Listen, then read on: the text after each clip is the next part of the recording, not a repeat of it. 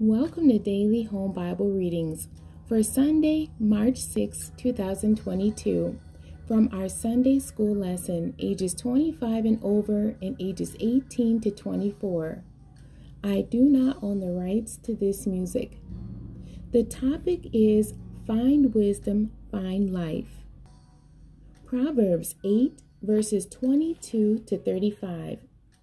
The Lord possessed me in the beginning of his way before his works of old.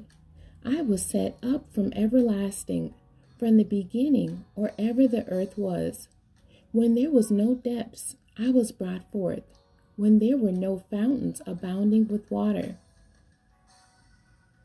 Before the mountains were settled, before the hills was I brought forth, while as yet he had not made the earth, nor the fields, nor the highest part of the dust of the world.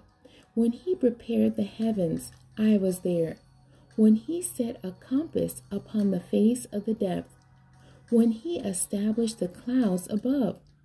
When he strengthened the fountains of the deep. When he gave to the sea his decree, that the waters should not pass his commandment. When he appointed the foundations of the earth. Then I was by him, as one brought up with him and I was daily his delight, rejoicing always before him, rejoicing in the habitable part of his earth, and my delights were with the sons of men. Now therefore hearken unto me, O ye children, for blessed are they that keep my ways. Hear instruction and be wise, and refuse it not. Blessed is the man that heareth me, watching daily at my gates waiting at the posts of my doors. For whoso findeth me findeth life, and shall obtain favor of the Lord. The end.